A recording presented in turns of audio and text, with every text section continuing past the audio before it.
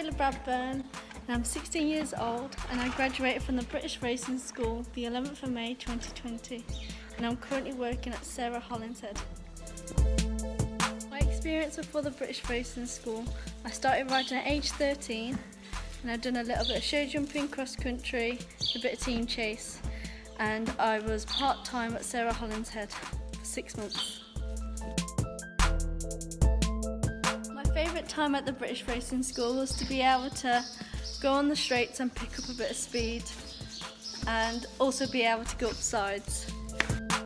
My experience at the British Racing School was amazing. I absolutely loved it. The staff were amazing. They're all like one big family. I would love to be able to be a flat jockey and be able to travel around the world to nice hot sunny places.